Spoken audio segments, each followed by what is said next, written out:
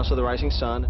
It's an important episode for the series because it's the episode where we're finding the valley, which is the uh, set of caves. A lot of the characters are going to move there. Jack actually found this valley in the previous episode, White Rabbit, and uh, this is the episode where people are beginning to make that move out of the beach and getting out of that mentality of being immediate crash survivors to being sort of citizens of this island, to being sort of full-time dwellers of the island.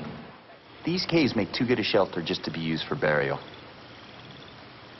Adam and Eve, they must have lived here. We don't need to bring the water to the people. We need to bring the people to the water. So although this is also the episode where we find the set, this episode also is the one where we find out the story of Sun. 당신 남편이랑 다시 화해하는 건 어때요? 대답해봐요. 예? We had a chance to sort of see them really fall in love and then fall out of love. I think it was really important to see the other side of the story, where it all began and where it's going at, right now. Approximately 20% of the episode is, is flashbacks to their life as a young married couple in Korea and the weird circumstances that led to them being on this oceanic flight to from Sydney to Los Angeles and landing them on this island. That was a particularly difficult thing, not, you know, only because I don't speak or write in Korean, but it was um, about getting into a whole other cultural headspace and it was about writing about something that I don't have a huge amount of personal reference for. 내가 가서 설명을 하게 해줘. 내가 얘기를 잘하면 당신을 풀어줄 수도 있잖아. 네가 어떻게 설명해? I think the idea that you cannot understand what Jin and Sun are saying is is a way of highlighting their otherness on the show, and it allows people and the other characters to project what they think is going on with them when they may not really know. 아버님이 시키는 대로 할 뿐이야. 나 우리를 위해서 하는 거야. They know exactly what they need to do, especially Jin's character.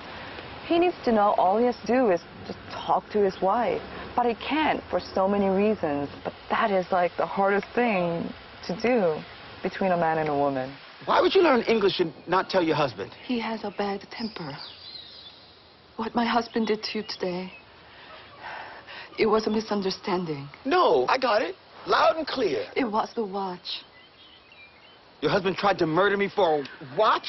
You know, whenever there are women involved uh, and, and men, there's a lot of uh, tension that goes on. And I think uh, he and I are maybe going to have that tension for a while. The episode has a lot of really heavy things happening in it. You know, you have Jin, the husband, attacking Michael, and there's a whole sort of racial can of worms that that opens because it's a, it's a Korean man attacking a black man. And, you know, in some places that doesn't mean anything in the United States. In certain places in America, it means quite a bit. I don't know how it is in Iraq, but in the United States of America, where I'm from, Korean people don't like black people.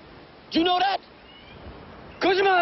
The island isn't just a physical place necessarily. It's also that place where these people who had gone in a wayward path on their lives have come to, and it's a place where they can work these things out. And I think a lot of the plots that were that were doing Charlie and his drugs and, and other things like that are really about being trapped in a place that forces you to confront your inner demons, a place that forces you to work out things that you know these people may not have worked out in their lives before. So being in this place with all these with all these other strangers and all of these other people who don't necessarily all get along becomes a catalyst for all of the baggage that people brought in becoming something new and something dramatic and something that can be worked through in the island. I was just gonna take Do not move. What's going on? He's standing on a beehive. What's a beehive doing there? Beehives are supposed to be in trees. he uh, gets covered in bees and gets stung and, you know, kind of makes a couple of big mistakes for the group that he's with.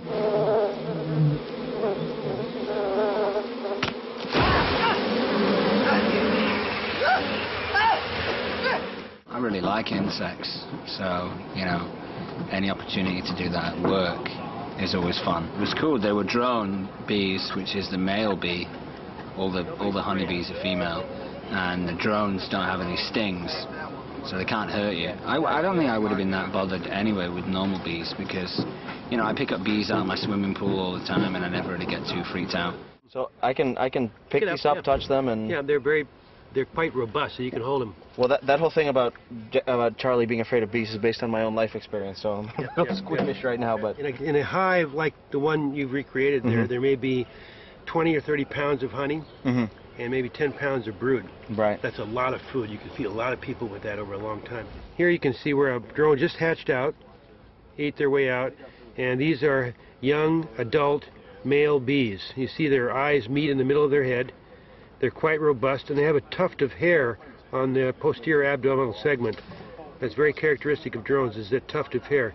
And they have no stingers. They're very docile, they're kind of stupid, and they're very robustly built. So they're easy to handle, and for shots like we need in this film, uh, they're the ideal thing to do. It was fun. It was kind of sticky and messy because I was covered in honey so that it would stick to my arm and to my head and all that kind of stuff. Um, I really liked it. Uh, these are our tracking marks. We're using them so that the computers can uh, simulate the camera motion from the live action plate. Uh, and then when we get them into the post-production place, we can then simulate the camera move in a virtual environment. So our CGBs that would be chasing Jack and Kate will not seem to float in the scene. Hopefully look like they're real CGBs.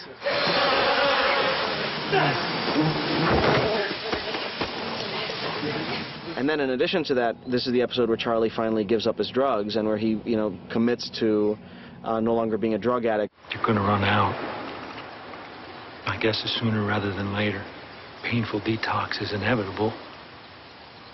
Give it up now, at least it'll be your choice. It's an interesting day today for Charlie because he has an opportunity to have someone to confide in in Terry O'Quinn's character, Locke, who actually knows that he is a drug addict, has found out somehow. I think he's quite an intuitive kind of character anyway. It kind of sets Charlie into a flat spin because he kind of feels like he has an ally, but also it's someone who can use something against him on the island.